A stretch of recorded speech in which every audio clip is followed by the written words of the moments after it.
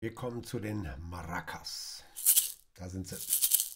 Also, diese kleinen Dinger, diese Rappler hier, die sind gar nicht so einfach zu spielen. Kommt schon darauf an, wie ich sie festhalte. Also wenn ich jetzt so festhalte, da habe ich keinen richtigen Rhythmus. Ich keinen richtigen Rhythmus hin.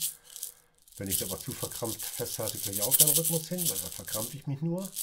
Also ich muss versuchen, sozusagen, wir gucken uns das mal an. Ich habe das mal so in der Hand. Hier, seht ihr das so?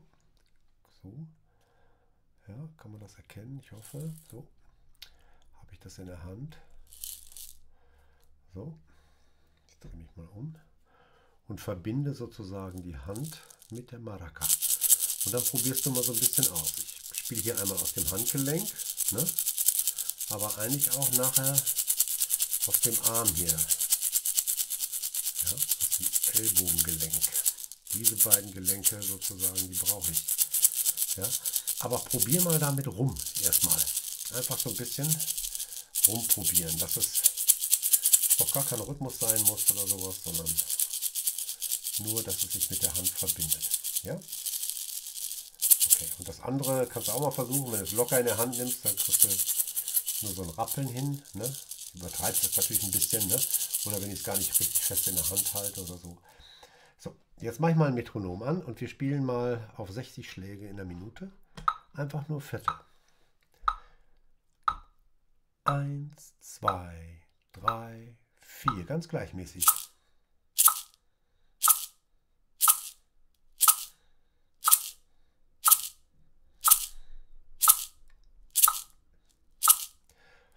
Versuch einfach so mitzuspielen. Wenn du keine Marker hast, mach einfach das mit der Hand mit. Stell dir vor, du hättest eine Maraca in der Hand machst genau die Bewegung mit. Und versuchst also genau mit dem Metronom zusammen zu sein. Ja. Okay, jetzt machen wir mal Achtel. Eins und zwei und drei und vier und eins und zwei und drei und vier und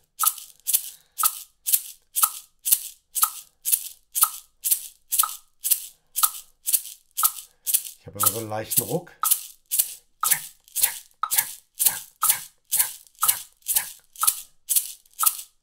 Und da, ne, da habe ich so ein bisschen Ruck drauf. Nochmal.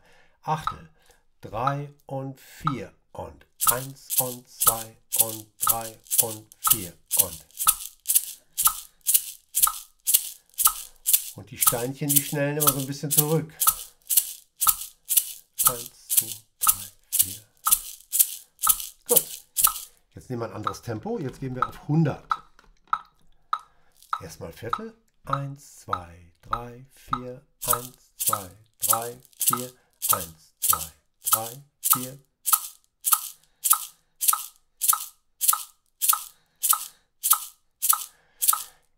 Auf Achtel. 1 und 2 und 3 und 4 und 1 und 2 und 3 und 4 und 1 und 2 und 3 und 4 und. Versuch das mal mitzumachen. Und Geduld. Das ist nicht so einfach.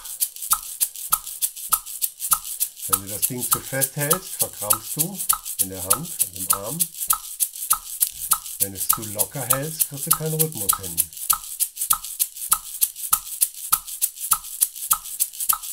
Okay, jetzt machen wir mal das Originaltempo zu meinem Lied La Bamba. Ach, was hat man? 132, ne? 1, 2, 1, 2, 3, 4, Viertel. Viertel.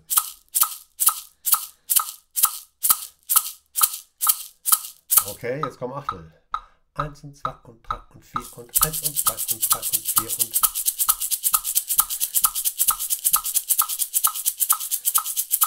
Und schon hast du den Rhythmus.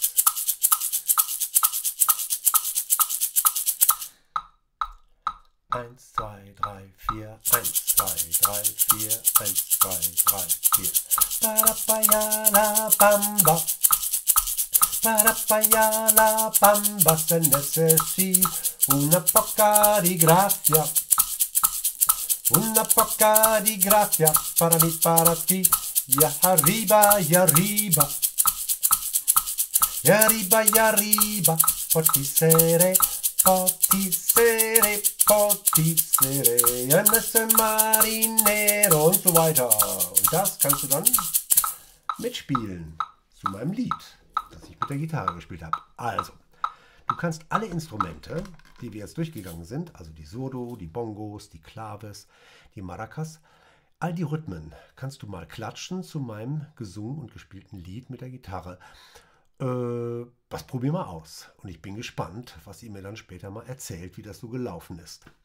Wer Fragen hat, kann sich ja über meine Mailadresse an mich melden, an, an sich mich wenden. Das wäre schön. Dann kriege ich nochmal so ein paar Tipps von euch, was ihr vielleicht doch noch besser braucht, als so wie ich es jetzt gerade mache.